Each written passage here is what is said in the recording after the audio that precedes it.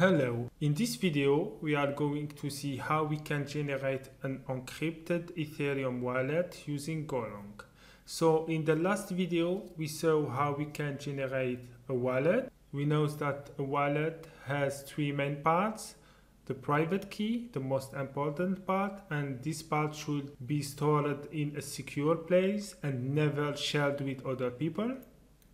We have also the public key. So this public key is used to check and verify the encryption of a transaction.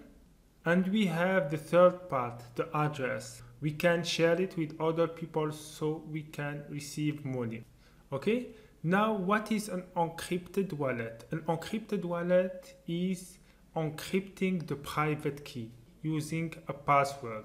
So we have the plain text generated private key and we add to it a password then pass it through a symmetric algorithm. In this case the AES 128 symmetric algorithm. So at the end we get an encrypted private key. Even if a person can get this encrypted private key so he can do anything with it he need the password to be able to use it and encrypt transactions. So this adds another layer of security to our private key. So this encrypted wallet is called a key store file. Okay, so let's jump inside Visual Code and start coding.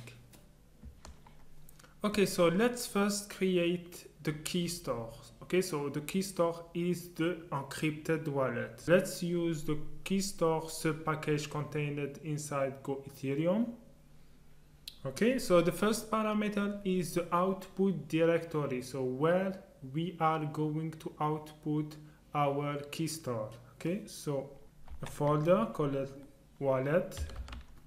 The next parameters are used for the encryption. So we are using the default ones.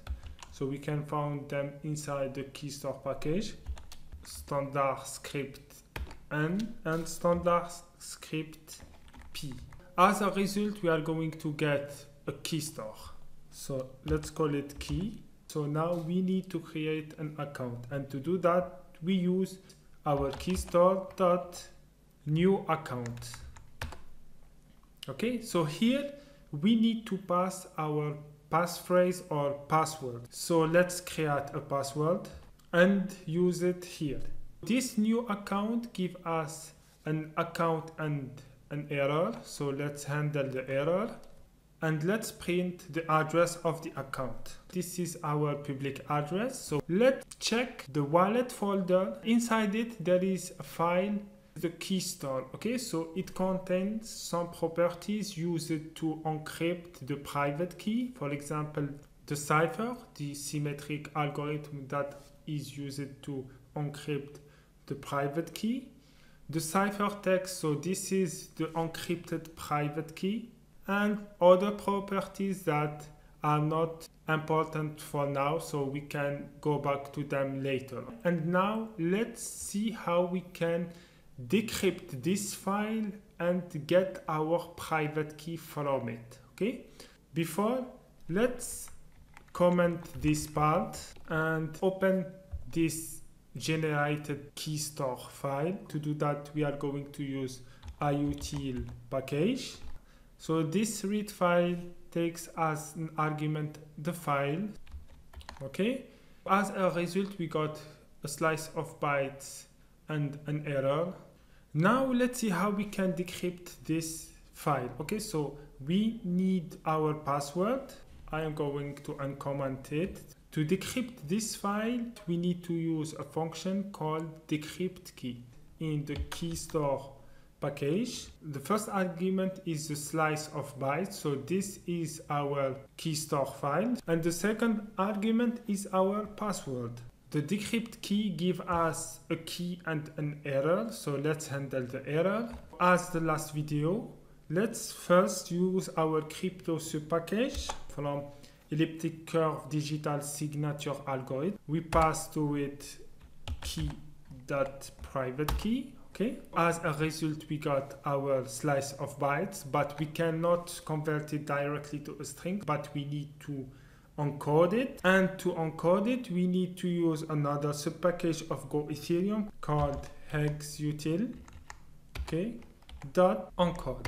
And we pass to it the private data. This encode return to us a string so we can now print our private key. Okay so let's run our script and see the result. Okay this is our private key. Let's try to get this public address from the private key. First, we need to generate the public key and to do that, we use crypto dot from ECDSA public. We have to pass the public key and to get the public key, we need to use key dot private key dot public key. As a result, we got a slice of byte we can use this same hexutil.encode to encode the public key so we can get a string representation of our public key. And finally to get the public address so the address that we can share with other people so they can send us money. We have to use crypto subpackage dot pub key to address okay? And we pass the public key Okay, so as a result, we got an address. So the address has a function called hex. So this function return to us a string representation of our address, okay? So now we can print it and see the result. Let's run our script and compare if we got the same address, okay? And yes, we got the same address. You can see that this is the private key we have the public key so this one is the public key and we got our public address. Okay now let's try to decrypt this wallet using a wrong password. Okay so let's add for example another d here. Okay and let's try to run our script and see the result. We got an error could not decrypt key with given password. Okay so with this wallet we added another layer of security. Even if a person get this file, he cannot do anything with it because it is encrypted. Okay, so he need the password to decrypt it and to be able to make transactions. Okay, so this is all for this video. I hope you learned something. Thank you for watching and see you in the next video. Bye bye.